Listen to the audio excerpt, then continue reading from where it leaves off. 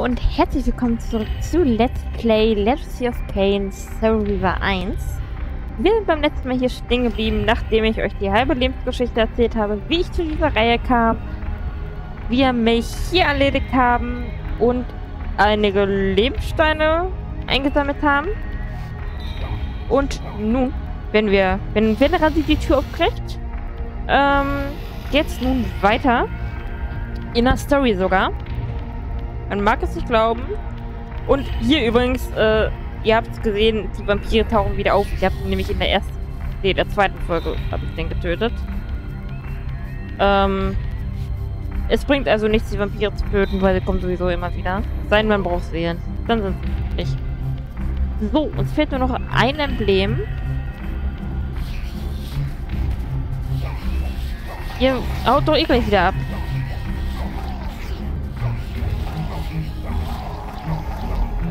Okay. Oder auch nicht, aber ich darf euch einsaugen. Das ist sehr gut. Ähm, das ist die falsche Richtung. So. Geht doch.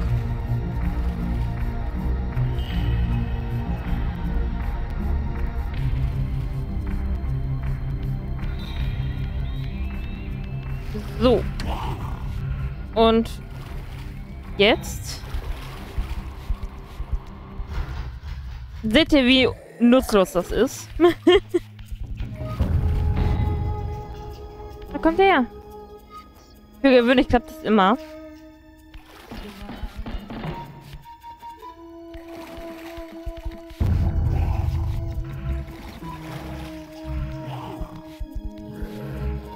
Na toll. Jetzt habe ich äh, keine Glyphen mehr frei. Und hier gibt es kein... Dingens. Nee, Mano.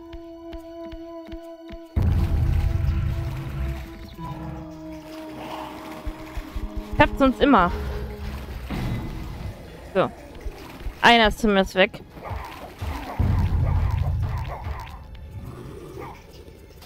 Du auch. Muss ich mal kurz was gucken. Okay. Muss ich kurz an meiner Soundkarte wieder lauter machen. Äh. Sie sehen noch? Jetzt zumindest eine.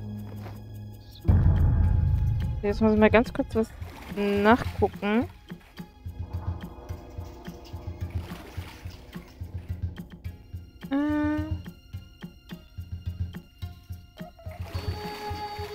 Musste was wegen morgen klären, weil mein Freund und ich quasi, also gut, wir machen keine richtige Halloween-Party, weil wegen Corona geht's ja nicht.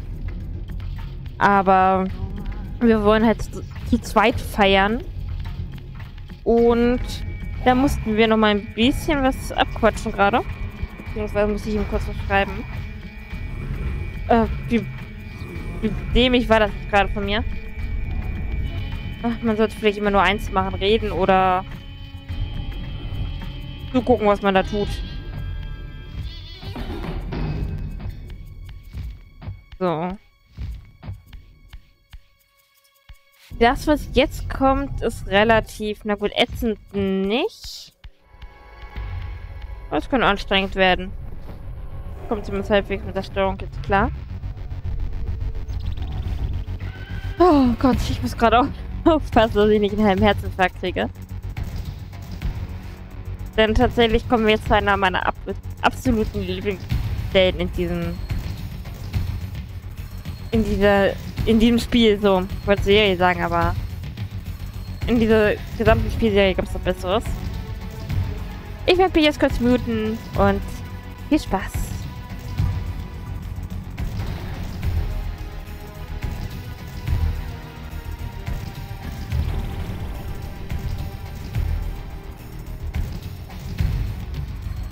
Raziel.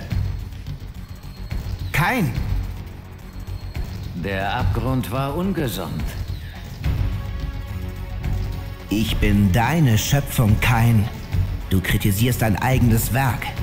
Was hast du meinem Clan angetan, Entarteter? Du hast kein Recht.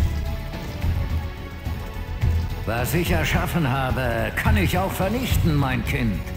Verflucht seist du, du bist kein Gott. Wie kannst du ganze Völker gewissenlos morden? Gewissen?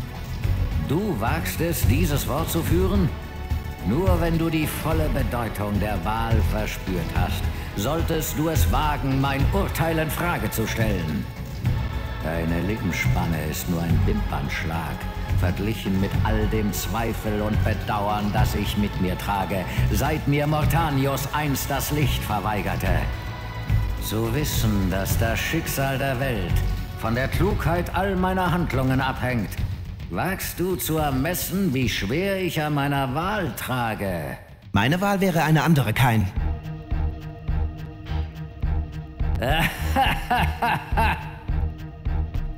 Schau dich um, Raziel. Schau, was aus unserem Reich geworden ist. Dies ist das Ende eines Zeitalters. Die Clans sind in alle Winde Northgards verstreut. Dieser Ort hat keinen Nutzen mehr. Genau wie du.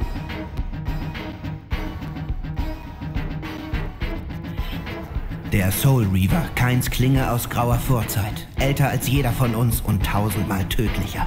Die Legende besagt, dass die Klinge verteufelt war und wuchs, da sie die Seelen ihrer Opfer verschlang. So tapfer wir uns auch gaben, wir wussten, was es hieß, wenn Kain in seiner Wut den Soul Reaver zog. Es bedeutete das unmittelbare Todesurteil. So, jetzt muss ich mal ganz kurz ins Menü gehen, bevor hier ein Unglück passiert. So, einmal nochmal kurz was zu trinken eingegossen.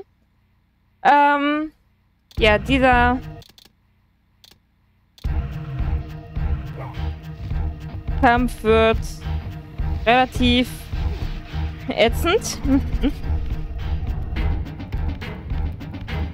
Denn wir müssen Kane halt treffen, bevor er uns trifft.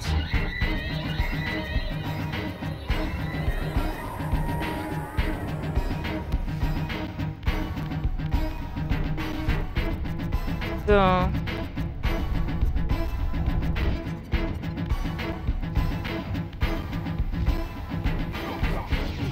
Ey! Ich hab dich doch getroffen! Eigentlich sogar zweimal.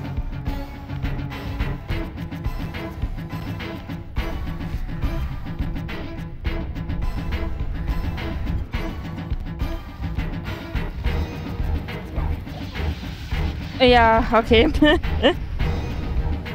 das äh, habe ich jedes Mal wieder. Ich weiß nicht, wie oft ich das schon... Bei diesem Kampf stelle ich mich immer blöde an. Ey. Uh, das war knapp. Ich glaube nur beim bei der allerersten Aufnahme hat es relativ gut geklappt.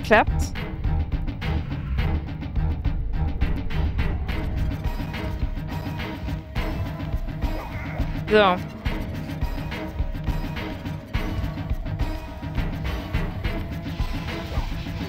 Mist. So, Kane wird jetzt wahrscheinlich wieder an der gleichen Stelle stehen. Also nicht an dieser, sondern in der, wo er eben stand.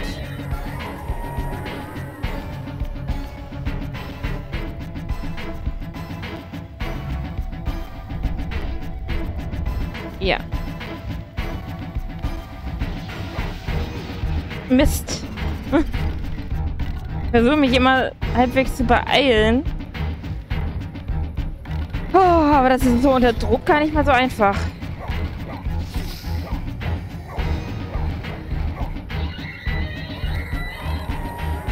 Aber eigentlich mache ich mir den Druck immer nur selber.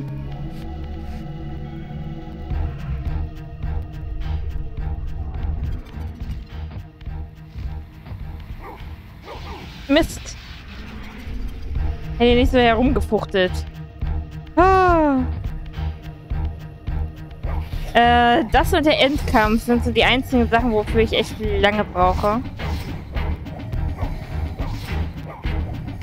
Es sei denn, ich habe echt Glück. Was hierbei gerade leider nicht der Fall ist.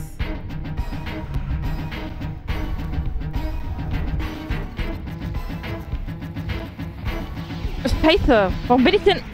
Ja, mein eigener Fehler.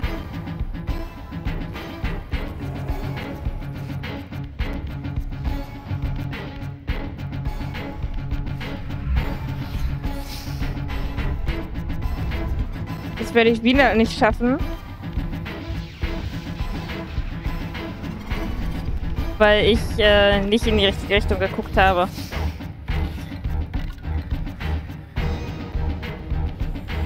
Weiß nicht, wo das Viech ist. Da.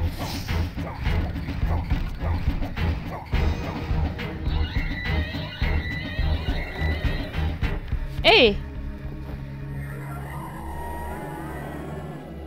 Kommt der einfach wie aus meinem Mund raus.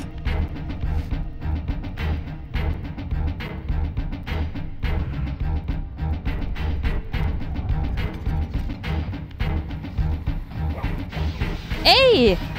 Mann, oh Gottchen.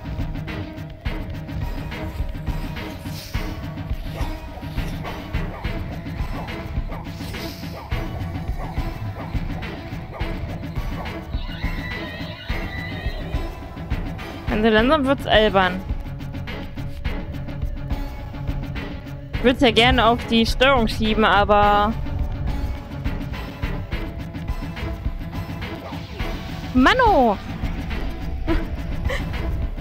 Ich bin gerade irgendwie einfach zu nervös. Oh. Ich weiß gar nicht, warum ich nervös bin.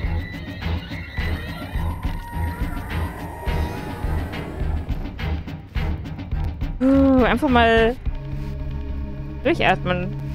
Das bräuchte ich jetzt.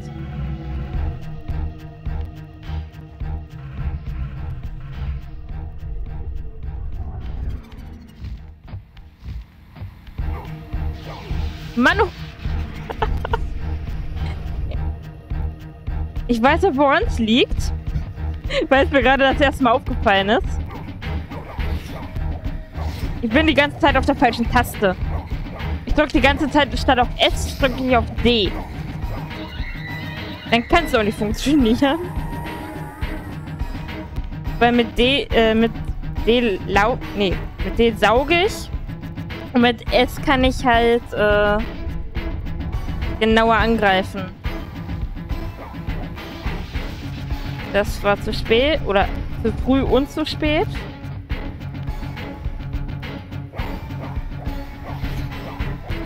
Ich hätte aber es jetzt schon fast durchgehend gedrückt. Äh, durchgehend gedrückt, aber versuche meinen Finger von D zu lösen.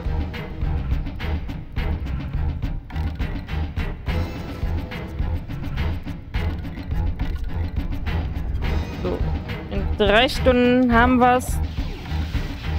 Ich habe dich doch getroffen, oder nicht? Ich würde ja sagen, ich mache einen Cut, bis ich es geschafft habe.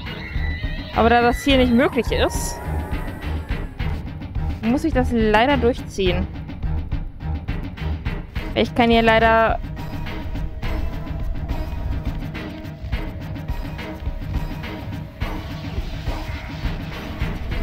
Diesmal habe ich ihn aber getroffen. Es hat trotzdem noch... Oder es gilt trotzdem noch, meine ich.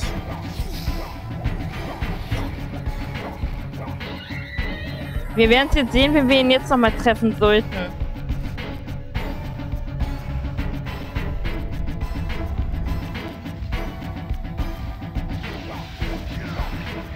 Ja.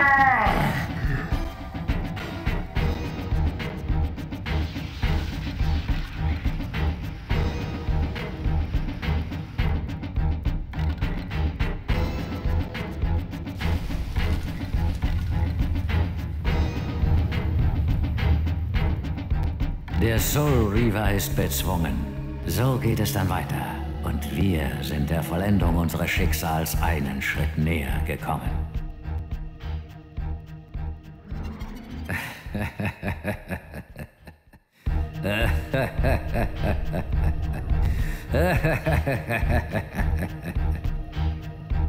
Ich schwöre, ich sah ein zufriedenes Funkeln in Kains Auge, als der Soul Reaver vernichtet wurde. Ich verstand nicht, welches Spiel Kain spielte, aber ich wusste, was zu tun war.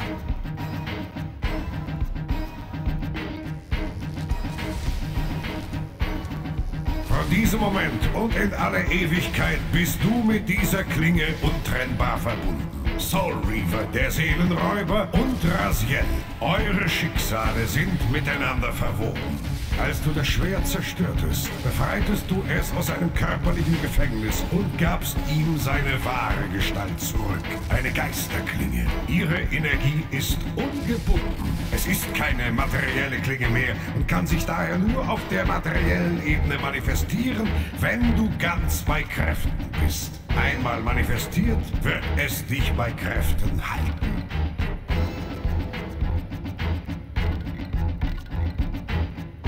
Was bist du, kleine Seele? Eines von Keins Geschöpfen gekommen, um diese gefesselte Erscheinung zu quälen? Ich hatte nicht vor, deine Ruhe zu stören. Ruhe? Für den Schlaf braucht man einen Körper. Fleisch und Blut braucht man, um zu ruhen. Nein, Kind. Alles, was ich kann, ist beobachten und mich erinnern. Stets ganz bewusst. Während sich die Geschichte dieser elenden Welt vor meinen Augen entfaltet. Grässliche Vergangenheit, unerträgliche Zukunft. Sind sie ein und dasselbe? Bin ich denn immer hier? Was ist geschehen, dass du bei diesen Säulen spukst? Kein verweigerte das Opfer. Die Säule des Gleichgewichts bis ins Innerste verfault, bildet ein Mahnmal für seinen blinden Ehrgeiz. Jetzt dienen diese Säulen nur dazu, mich hier gefesselt zu halten, in meinem Gefängnis, dank der Gier deines Gebieters, kein. Dieser Teufel hat keinen Anspruch auf meine Loyalität. Dann haben wir einen gemeinsamen Feind, Raziel. Kehre zurück, wenn du meine Hilfe benötigst. Ariel erinnert sich an das, was andere längst vergessen haben.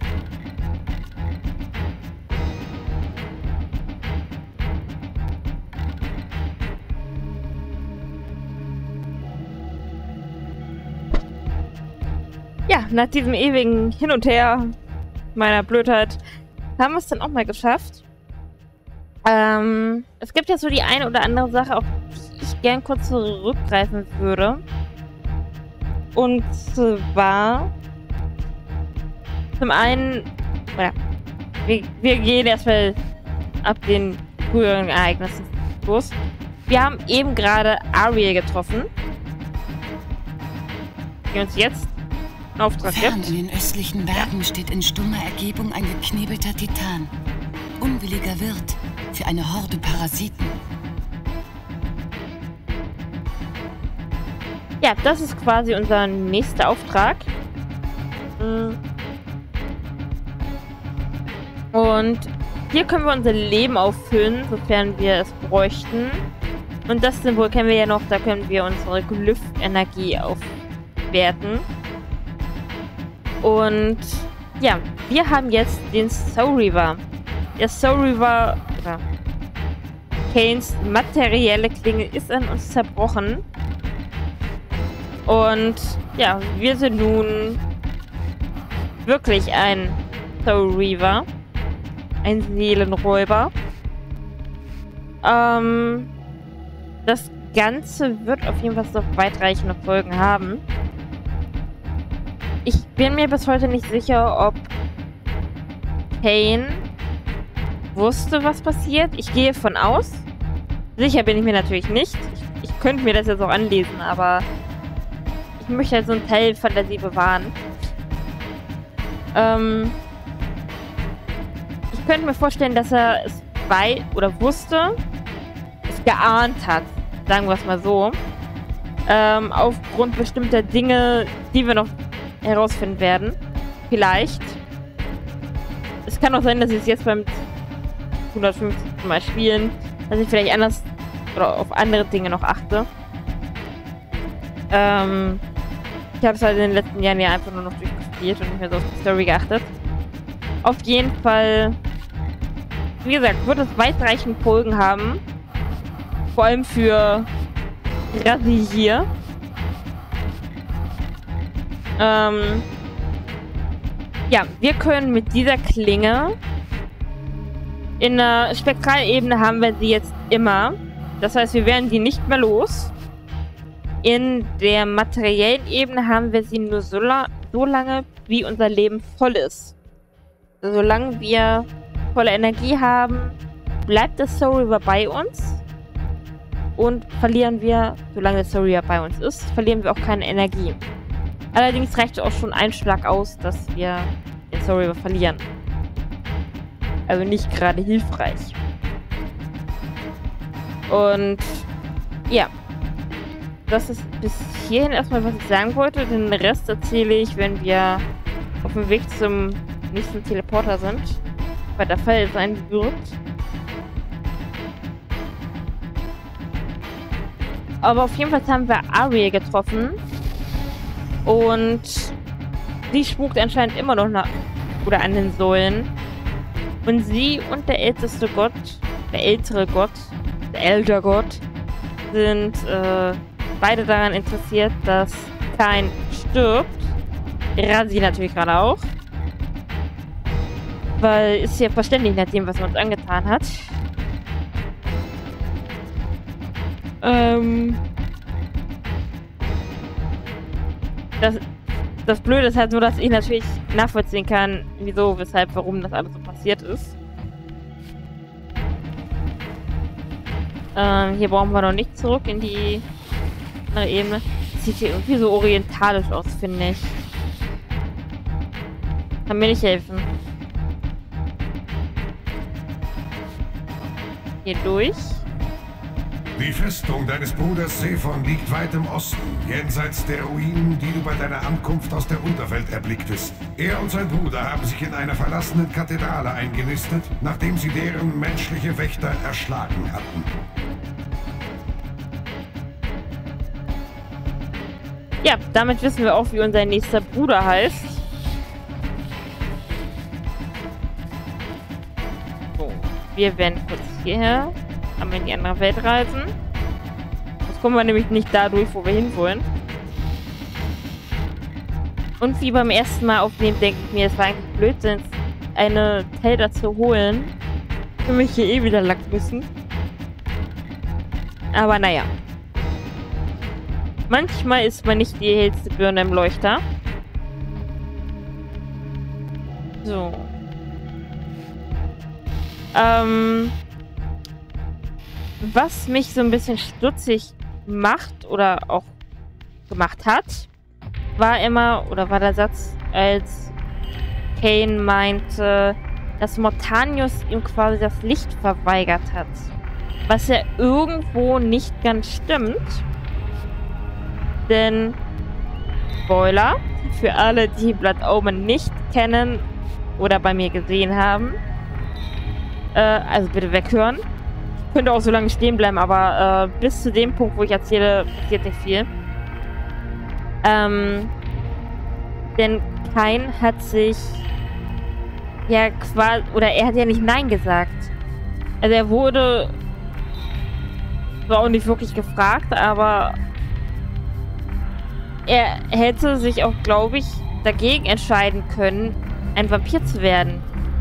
Und er sind auf Rache Weswegen das ja alles so gekommen ist, wie es gekommen ist. Das heißt, Mortanius hatte den Punkt, finde ich, persönlich, weniger Schuld. Also klar, Mitschuld, dass er ein bisschen den Verführer da gespielt hat.